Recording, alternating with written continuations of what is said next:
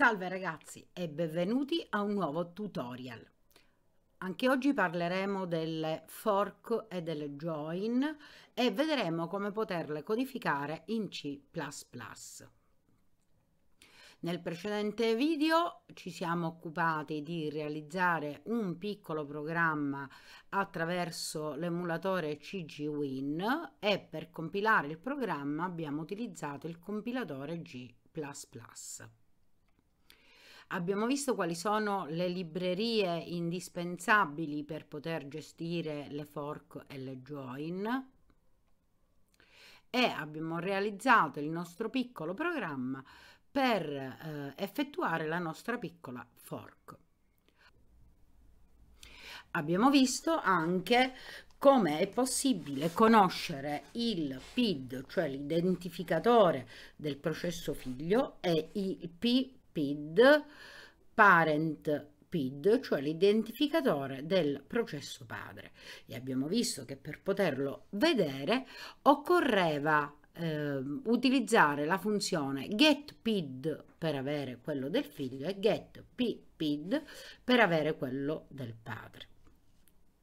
Occorre specificare che una volta testato lo stato del PID, vedete io qui avevo definito un PID che si chiamava RF, all'interno di questo RF viene depositato il risultato della fork, se il risultato era 0 mi trovavo in presenza del processo figlio, altrimenti in processo padre. Nel caso in cui il risultato fosse stato minore di 0 avrei avuto un errore perché voleva dire che la fork non aveva avuto luogo.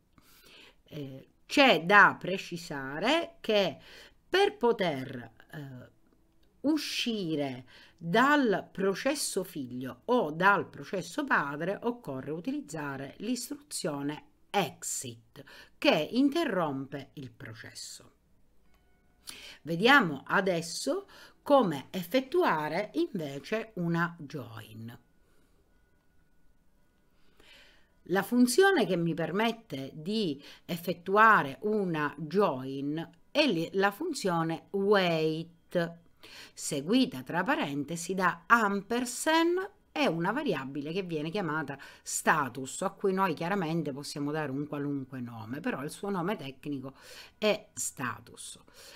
Oltre questa funzione occorre dichiarare queste due librerie che mi permettono di gestire la ehm, variabile status e anche l'attesa del wait. Cosa contiene la variabile status? La variabile status contiene una serie di valori. Fra questi valori, ce ne sono due molto importanti che noi possiamo andare a testare eh, normalmente. La prima è v if existed tra parentesi il nome dello status. All'interno di questa variabile viene depositato 1 se il figlio creato in precedenza con la fork ha terminato normalmente il suo procedimento. Conterrà un valore uguale a 0 se invece il figlio è stato bloccato da un'attività diciamo anomala. L'altra variabile è vexist status che contiene il valore che può ritornare il processo al padre. Esempio. Supponiamo di avere un procedimento A che arrivato a un certo punto con una fork si ramifica in due ehm, sottoprocessi. Il figlio deve svolgere un calcolo, x uguale 4 più 5, il padre invece deve visualizzare un semplice messaggio, sono il padre. Successivamente si riuniscono e il padre effettua un calcolo aggiungendo al valore precedentemente calcolato dal figlio 5, dopodiché lo deve visualizzare. Vediamo un po' il listato eh, come eh, si sviluppa. Chiaramente prima ci saranno le dichiarazioni delle librerie, abbiamo la dichiarazione della variabile che di, eh, della forco che io ho chiamato RF eh, all'interno della quale verrà appunto depositato 0 o 1 o un valore minore di 1 in base a quanto abbiamo detto prima. Ho, ho, dichiarato tre variabili x e z che mi servono per i calcoli e la variabile status che io ho chiamato stato di cui abbiamo parlato poco fa. Inizia il processo, ho subito una fork vado a testare se mi trovo in presenza del figlio, perché in questo caso è stato depositato 0 all'interno di RF, e se mi trovo in presenza del figlio effettuo il calcolo. Il risultato di questo calcolo viene comunicato al padre attraverso una exit. Il processo padre Continua quindi, visualizza il messaggio sono il padre, dopodiché ci troviamo in presenza della join.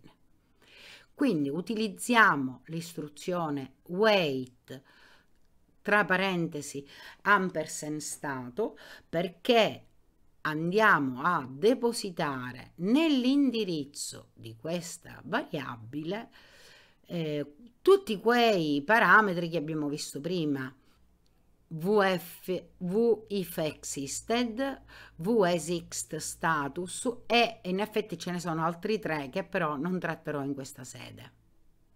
Una volta effettuata la wait, vado a depositare in una variabile che io ho chiamato x cosa? Il valore che c'è all'interno di VEXISTATUS della variabile stato. In questo modo il valore passato con exit eh, verrà depositato in questa variabile x. Il padre continua con l'operazione e visualizza il risultato finale che in effetti vedete sono il padre risultato finale andiamolo a vedere in C++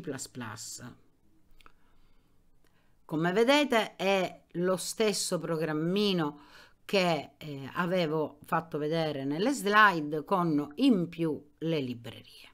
Quindi ricapitolando, dichiaro la variabile di tipo PID T che mi dà il risultato della fork, ho inizializzato le variabili, anzi ho dichiarato le variabili, procedo con la fork, se il contenuto di RF è uguale a 0 vuol dire che mi trovo in presenza del figlio, effettuo i calcoli e passo questo valore con la exit, altrimenti vuol dire che sono in presenza del padre, il quale si mette in attesa che arrivi il figlio e una volta che questo è arrivato andiamo avanti eh, viene prelevato il valore passato dal figlio, viene fatta l'operazione e andiamo con il cout. Vado a compilare, vi ricordo che la compilazione si effettua in questo modo.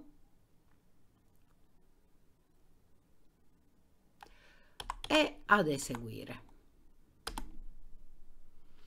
E come vedete il risultato è uguale a quello che vi ho fatto vedere nelle precedenti slide.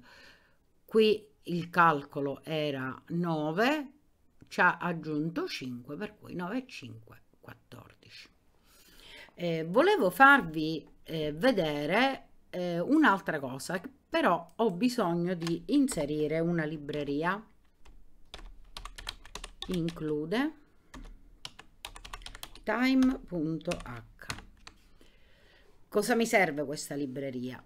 Voglio semplicemente farmi visualizzare il eh, tempo, cioè il secondo in cui viene eseguita l'operazione. Quindi all'interno del ramo figlio vado a aggiungere un cout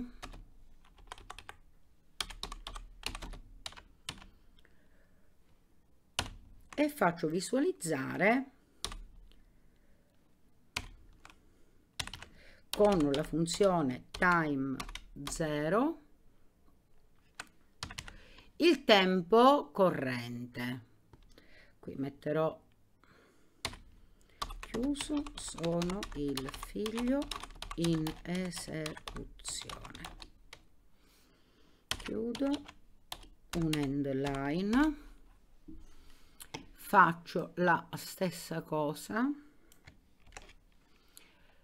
e la inserisco prima della wait e metto sono il padre in attesa.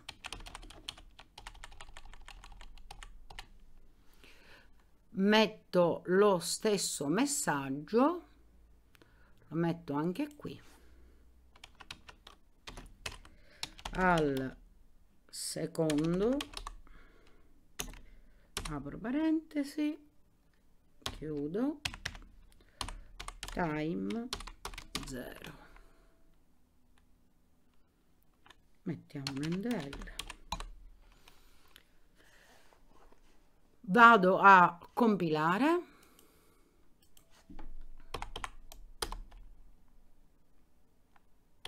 Eseguo volevo farvi vedere che in effetti come vedete allora questo tempo è dal primo gennaio sono il numero dei secondi che intercorrono tra la data corrente e l'1 gennaio del 1970 però quello che mi interessava farvi vedere è che come vedete al di là del fatto che saranno magari microsecondi le operazioni sono state eseguite contemporaneamente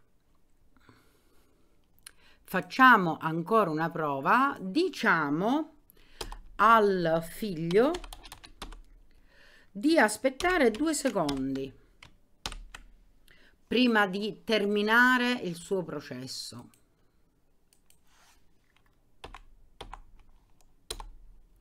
Ricompilo, rilancio,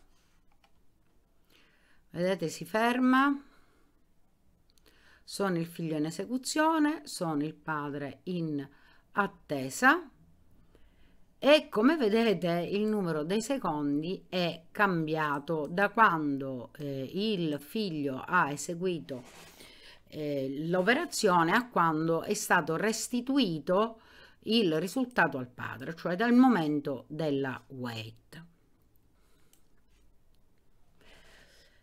È chiaro che questo programmino io potrei anche modificarlo andandomi a creare un sottoprogramma che mi esegue le operazioni del figlio. In che modo? Qui vado a dichiarare un int lo chiamo figlio una funzione che mi conterrà quello che deve eseguire. Solo che anziché exit devo mettere return. Lo chiudo. Chiudo. Questo sarà int perché non l'ho dichiarato. Qui queste le vado a cancellare però al loro posto dovrò avere il valore passato da x quindi x uguale figlio. Andiamo a vedere cosa succede. Do un clear, compilo il programma e lo faccio eseguire. Come vedete, eh, queste operazioni sono state fatte due volte perché perché ho dimenticato qui a uccidere, a fare un kill del mio processo figlio passando il valore di x. Salvo, faccio un clear e ricompilo, rilancio. Bene come vedete eh, adesso me lo dà solo una volta quindi ricordatevi che la parola exit uccide, cioè fa morire il figlio nel momento in cui eh, deve passare il controllo al padre, quindi nel momento in cui deve poi essere effettuata la join. Questo è tutto, eh, esercitatevi con queste nuove istruzioni e ci vediamo al prossimo tutorial.